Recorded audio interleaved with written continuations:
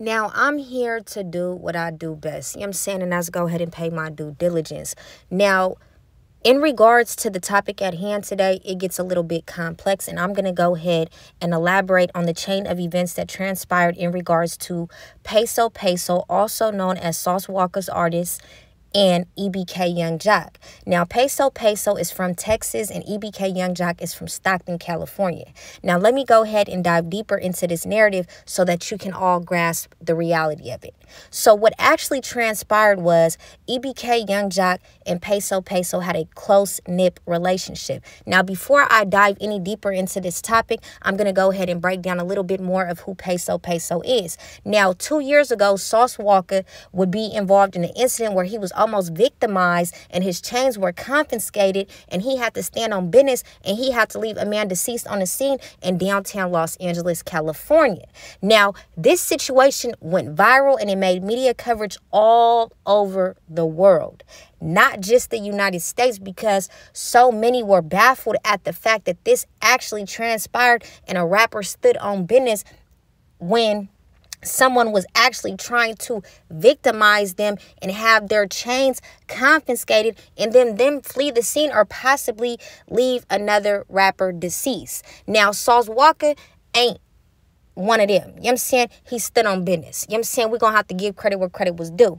But if you notice, if anybody even know who Sauce Walka or Peso Peso is, um, when Peso Peso was being interviewed and asked about the incident, he was real minimal and he wasn't giving as much information as the interviewers were to the to the interviewers liking because it was more sinister than that. Many are oblivious to the fact that Peso Peso was actually the man that actually left the man that tried to victimize Sauce Walka deceased on the scene. Now, Peso Peso is of Mexican descent. Now, in his blood, he might just bleed it naturally, but he stand on business. Now, this is rumor on the street. Now, Seti Nash went ahead and he tried to put his two cents in and he tried to say that Sauce Walka wasn't standing on business, and that's not exactly what transpired in regards to the chain of events that led up to the man being deceased in downtown Los Angeles. That is actually falsified because he would get on the internet to say that the police were actually the ones that would leave the man deceased on the scene in downtown Los Angeles after they tried to victimize Sauce Walka and confiscate his jury. Now, I will say this Seti Nash did not know what he was talking about. Okay. Now, I'm not going to get on here and make this about Seti Nash, but I seen a little clip on YouTube because I had to do a little bit of my homework before I covered this story because I needed to grasp the reality of this narrative and who all of these individuals involved were. Now, I know EBK Young Joc. You know I'm saying? I had to really do my homework on Peso Peso and Sauce Walka. You know I'm saying? I heard of Sauce Walka. Don't get me wrong. You know I'm saying? But I'm not going to say, I just be like, Alexa, turn that Sauce Walka on. You know I'm saying? I'm going to just be honest with you. You know I'm saying? I'm from California. You know I'm saying? Now, as far as when it comes to diving into different jurisdiction, jurisdictions in regards to um, the music scene, I'm real limited to who I listen to. Now, I'm not saying I'm not open to listening to Sauce Walka. What I'm saying is I've never gotten to that point to listen to him. Now, I do remember when he went viral for the man trying to victimize him and him having to stand on business. You know what I'm saying? But once I did my homework, I noticed and I heard and I kind of conducted my own analysis. I'm like, okay, it might have really been Peso Peso that did his one too. But you know, because Sauce Walka was the alleged victim in the situation, it just would only make sense to say that he, you know I'm saying, had to leave the man deceased on the scene in downtown Los Angeles. Now, that's neither here or there. That's just a little bit of insight of who Peso Peso is. Now, let's get back to EBK Young Joc and Peso Peso. Now, Peso Peso would be leaving Texas, coming to California to meet with EBK Young Joc. He would fly into Los Angeles Airport. LAX to be exact. And when he flew in, he would have $50,000 $50, in cash on him. He would have all of his jewelry and he would have a Rolex. Now, when we dive a little bit deeper into this topic of discussion, you guys are going to be like, make it make sense? Well, I'm going to try to make it make sense to the best of my ability because the information that I received was real minimal and many are oblivious to this because Peso Peso and EBK Young Joc are actually still following each other on Instagram. But see, what I do is I kind of keep things in the archives for when the time what for when it's time to deliver a story to the people, to the fandom, to the audience, so they can grasp the reality of the narrative. Now, EBK Young Joc would meet up with Peso Peso along with his entourage, and Peso Peso would have would have his entourage, and they would go to the studio. And I don't know if the incident took place at the studio or when leaving the studio, but that is when EBK Young Joc would whip out on Peso Peso. You know what I'm saying? Uses using excessive force and he would confiscate his necklace, his watch, and $50,000 in cash. The next day, Peso Peso actually, let me take that back and reiterate that. Peso Peso would go idle. When he would go idle, he would go idle for about 12 hours. The next day, he would post to his Instagram doing features and promos deals all day. You know I'm saying? You know how that goes. When rappers is low on funds, they're going to say features, promos, whatever the case may be, tap in. So that right there was a red flag because he just had 50,000 in cash on him and he didn't have his jewelry on when he made the post and he showed his face and when showing his face, he did not have his necklace on. Now, EBK Young Joc would wait until the next night to get the taunting peso peso and whatever the case may be. And he would have the 50,000 in cash. He would have the necklace on. Um now as far as the watch that's still unclear but I know that that was confiscated as well. Now Peso Peso's managers would reach out and they would be trying to figure out what exactly transpired or what led up to the chain of events to where EBK Young Joc felt comfortable enough to do that to Peso Peso because Peso Peso actually trusted EBK Young Joc. As you can still see, EBK Young Joc has the photos of him and Peso Peso still on his page. But many are oblivious to the fact that EBK Young Joc got weird on Peso Peso and I'm and he backnoting for his jury and $50,000 in cash. Now, it wasn't really a back door. Dude just did him weird. You know what I'm saying? And um, that's basically what happened. And they will be trying to get clarity of the situation. Now, this is actually what is mind boggling. A few days before Peso Peso would be involved in this incident with EBK Young Joc, he would drop a song with Sauce Walka and he would elaborate on the fact if anybody tried to confiscate his jury, they will be left on the scene due to the prior incident pertaining to Sauce Walka and the incident in regards to him almost being victimized and his chains almost being confiscated and one being left deceased on the scene in downtown Los Angeles, California.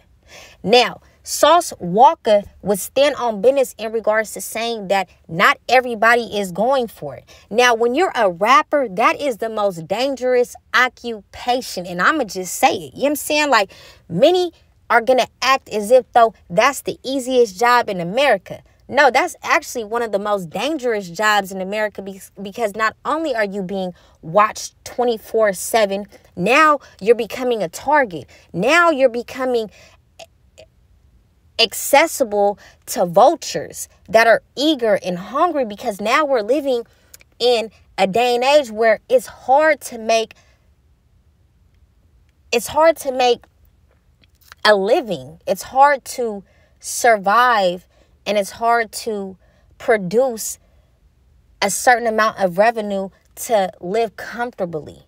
So now everybody is so eager. Everybody is so hungry. Everybody is is going through desperate measures. I mean if we take it back to covid-19 you know what i'm saying? Back to 2020 i mean you know what i'm saying? Yeah everybody was up on the whoop wop you know what i'm saying? But in reality everybody was still struggling because when all that money ran out and everybody was splurging it on the louis vuitton and the jewelry and the flashy cars everybody by the time the end of 2021 came everybody was having to sell everything that they purchased in 2020 because the economy is so bad so back to the topic at hand peso peso is still distraught and confused about why everything transpired how it transpired. But let me tell you something about Stockton, California, and let me tell you how EBK specifically, not even EBK, I'm just going to go ahead and say EBK Young Joc. After his chains were confiscated, EBK Young Joc has been on a roll. I really need to ask EBK Young Joc some for real. Like, no, EBK Young Joc, I'm going to need you to come here. Yeah, you come here. Um, Are you okay? You know I'm saying? Like, are you okay? Like, I just need to check in with you because it's not that serious. Then every time I'm looking at you in a video, you know I'm saying? It's looking like, you know I'm saying? You doing a little bit of I'm saying? Like, it's looking like you're not doing too well. And I'm really concerned for you. It's cool. You want to stand on business. You want to put on this gangster persona because everybody said you from five, six, seven, eight different hoods. You know I'm saying? You're not really from Stockton. You're really from Vallejo, Oakland, Townhomes, West Lane. Now you're from Nightingale, whatever the case may be. You know I'm saying? You have a lot of pressure on you. You know I'm saying? Um, you've lost a lot of close friends. Um, you know, it's it life is life and i can understand that. If anybody understands you i understand you. But what i don't understand is why you're burning the bridges that you're burning and you're willing to mess up these business relationships for a temporary moment for a temporary feeling.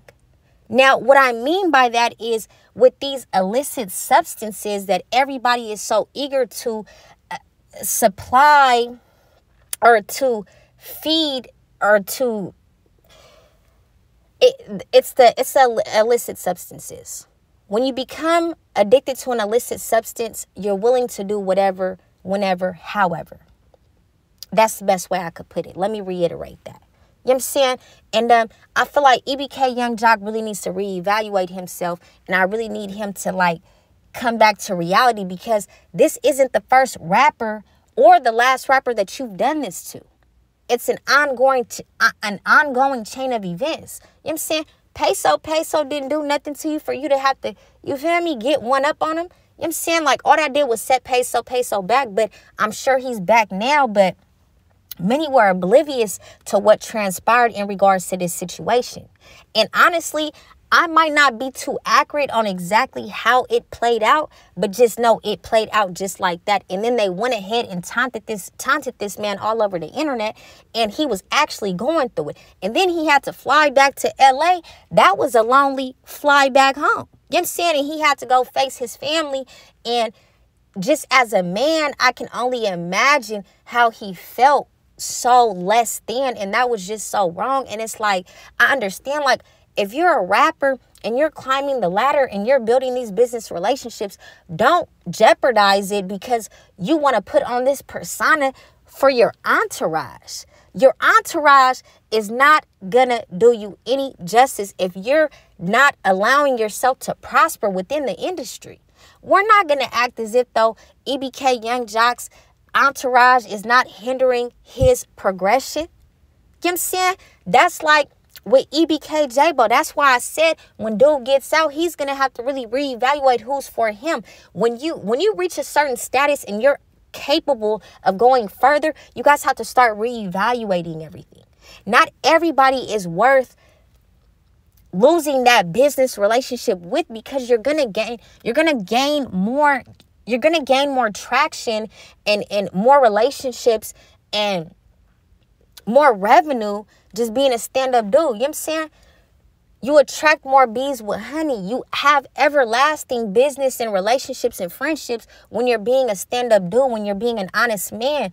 And it's like the way that EBK maneuvers in regards to them getting weird with certain rappers and and managers and videographers, it's not good for business. You know I'm saying? And it's just like it's just not good for business.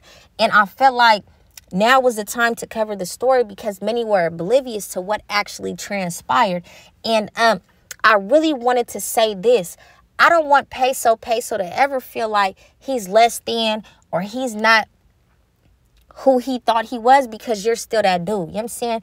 Just because the situation transpired and you couldn't react how you usually react because if we're gonna keep it a honey, you stood on business in regards in regards to Sauce Walka.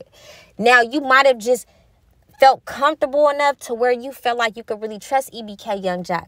You can't trust everybody. You know I'm saying? Like, you really can't trust everybody, dude. That's all I'm saying. Like, you can't trust everybody because everybody's not for you. The most complex business is the entertainment business because you never know anyone's true intentions. You never know their vendettas, their, their hidden agendas. You just never know. So you always have to have your guard up. You know I'm saying? And um, you know, I'm sure now Peso Peso is definitely moving a certain type of way and he's real discreet and militant because he knows how to be discreet and militant and to stand on business. But at that exact moment, he wasn't able to do so. And um, I'm not discrediting him nor his gangsterism or whatever he is or him his manlyhood or none of that. What I'm saying is you got to really keep that guard up when you're dealing with different rappers from different jurisdictions, especially coming to California, because every rapper out here is hungry. They can make it seem like they live in the best of life, the whatever the case may be. No, every rapper in California is still living a regular life. They just have jury, they just have someone on the side of them with their name on the lease in regards to a car or regards to a condo, whatever the case may be. They know how to make it look good for the internet. But remember, the internet is all a facade, it's not real. So you have to protect your energy, you have to protect you because you are you're the prized possession. Any rapper is the prized possession when there's someone of status. Now, you being Sauce Walka's artist, you are a status. You are a prized possession to him specifically. So you have to move accordingly. You know I'm saying? Now, I don't know how Sauce Walka feel about the situation, but I know that Peso Peso definitely felt less than after that situation because he was actually distraught and discombobulated in regards to the chain of events that led up to that. Now, I just wanted to go ahead and shed light. And um, like I said, shout out to Peso Peso. Shout out to Sauce Walka. You know I'm saying? Um, this video was to not um, be too informative or to be misleading in regards to the message that I was trying to convey. I was just trying to get the story out there to the people, to the fandom, to the audience so they can have a better understanding of what is actually transpiring behind the scenes in regards to the entertainment business. Now, until then, I'm just here to do what I do best. I rest my case.